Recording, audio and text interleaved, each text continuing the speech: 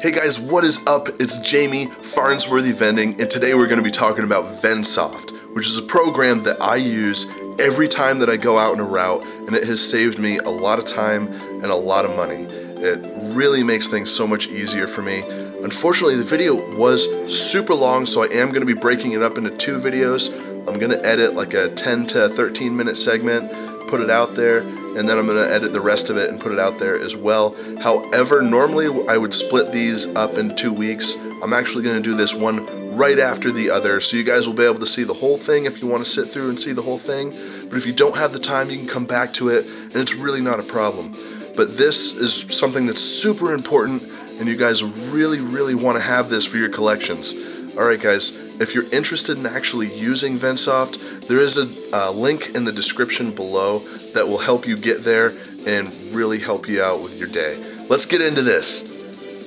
Alright guys, so welcome into my VendSoft tutorial. Today I'm going to be talking a lot about VendSoft because this product has really, really made a difference in the way I do things, and it's actually saved me a lot of money over the past couple of months. So, this is your homepage, it's your dashboard. This is where all your basics will show up, and we'll get to this in this video for sure. But I really just want to run through the basics of what I do when I go on a collection and how I use this program. Now, the first thing I had to do is I had to go into my inventory and I had to create products for everything that I have. Uh, to create a product, you simply click on create product. It's going to generate a code for you. You can use whatever you want here. You can change it um, to whatever you want, ASDF. You know, you can do whatever you want to do here. Um, you name the product. I suggest using capitals in the beginning and definitely name the product what it is because we were naming color stuff at first when I first started doing this and it was wrong. It was just really hard to find stuff later. So make sure you name it exactly what it is, no matter how long the name is. Name it what it's supposed to be. now you got different types. You've got beverages, obviously a soda, drink. You got food. This is going to be your snacks, hot foods, cold foods, everything. Hot drink or ingredient. If you guys do sandwiches or stuff like that. And a cold food machine. So you have all those options. I don't use a lot of this yet, but it is a really good startup point if you already have a vending business. I really recommend getting VendSoft as you're starting though because it's a lot easier to enter things as you get them than it is to enter everything that you've had for like five years into a program. But it's worth it in the end, even if that's the case. VendSoft has been awesome to me. I love this program. You'll enter your product, your name, your type, all that good stuff. If you're up there, you can get the barcode how many units come in a case, your reorder point. This will uh, give you a report on your dashboard, product that you need to order, and in your reports as well. We're not going to get into reports today, but if you guys want me to make a video on that in the future, let me know and we will definitely do that. You have your initial setup quantity, the cost of your initial setup, and the total value. You enter every product that you're going to need to enter. The way I did this is I would go out and I would buy a variety pack, right? And then I would enter the products in the variety pack. And then I'll come right over to purchases and I'll grab my receipt and uh, we'll create a purchase here. Um, I'm not actually going to save it in the end, but oh, I can't do that yet. Hold on. Did that wrong. So we're going to click on variety packs and we're going to create a variety pack. So what I did is I clicked the create button I name the variety pack Butterfinger variety pack or whatever it says on the variety pack. And then I'm going to take and add product. And it's all those products we just added from inventory now are going to be listed here. And you can just select them. Or you can type in, we'll Skittles so you can see it.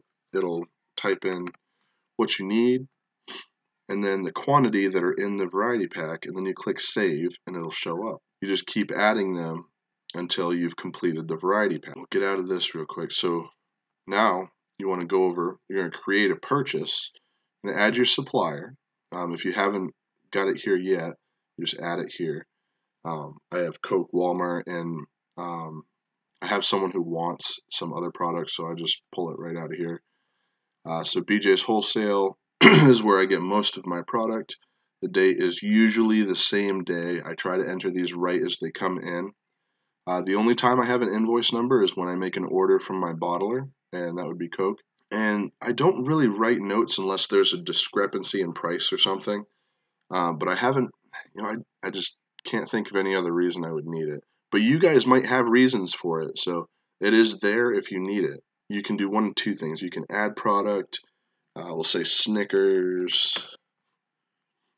right? So there's your product. We got one case. There's 24 units in that one case, and it was 14.99.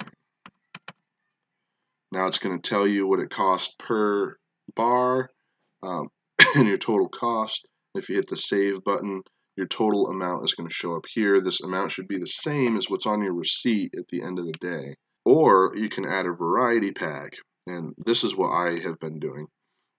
We'll say the 30 count Butterfinger pack from BJ's, right? We got one pack. I know for a fact that it cost me $17.99 unless I have a coupon. We'll hit the save button and you'll see everything pops up. The quantity that's in there pops up, and the price of each item pops up.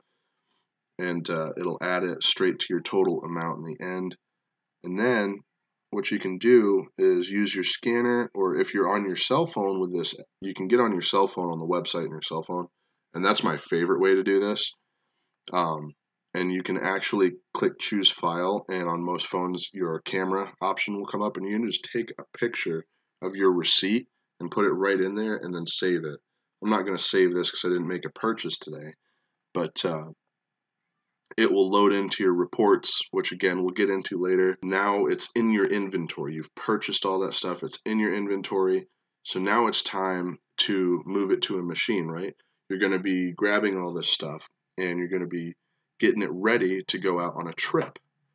Now, before I do that, I just want to briefly talk about machines. To set up your machines in this program, it's almost like setting it up in real life, only setting it up on a computer. It's a virtual version.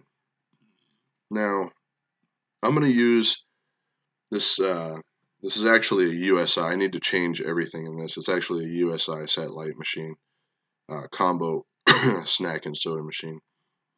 So I'm going to click view edit and then we're going to go into edit because when we do this, this is what the setup looks like.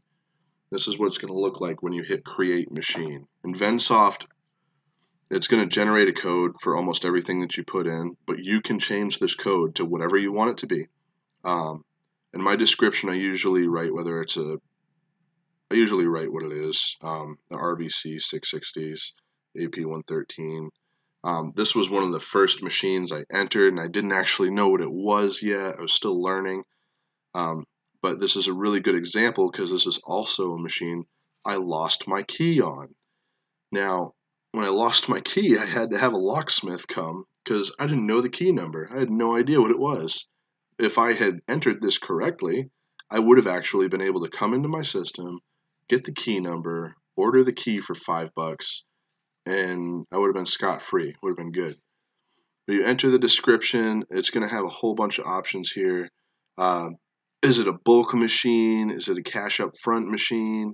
Is it a cigarette machine? A coffee machine? Is it an honor box? So this applies to you honor box guys as well.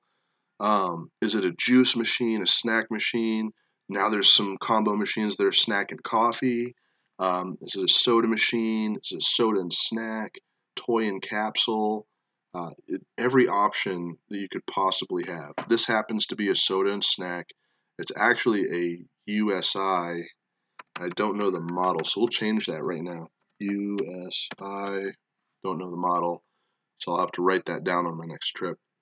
I'm not going to show you guys any of my keys, but you enter your key number here, so if you ever lose a key, you can just order a new one because you're going to know what the number is the date you purchased it, how much you purchased it for, um, and then if it has credit card sales or anything like that, I'm pretty sure there's a way to link those. Um, I'll get back to you on that once I've actually done some work with it. But then you just save, and because I already have this machine, it's not going to do it, but it will pop up with this screen, so you can start adding columns. Now, pull this back up. When you add columns, you're going to want to match them right up to what the actual column says. That way it's easier for you to do this. Um, but again, the product you entered, it's going to sort from that list there. So you just click whatever you entered, uh, you create your column name, uh, G7. I usually capitalize this stuff. I just put my cap locks on and hit G7. Uh, your max capacity, maybe it's a 10 size coil. Um, I really hope it's not a 10 size coil on Baby Ruth. But your price and then your last count. Uh, we're not going to save this because I've already got this machine set up. But uh, this is just another reason that VendSoft is such a great program. I love that it keeps track of things so thoroughly. Alright guys, so we're going to cut this video right here just because we're starting to get up there in the time frame on it. Now, if you guys want to use this program, there is a link in the description below. You can get it there. It's actually pretty inexpensive. I pay like 19 bucks a month for it and I love it. It saves me that much money and expired product alone, which is really good.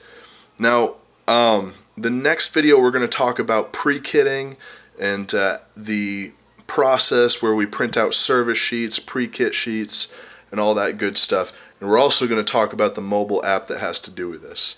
So guys, thank you so much for tuning in. I really appreciate it. Remember, my channel is supported by Patreon. Also, a link in the description below and usually in the first comment if I remember to do it. Sometimes I don't. But anyways, guys, I love y'all. Remember to do me a huge favor. Love life and live your dreams. Peace.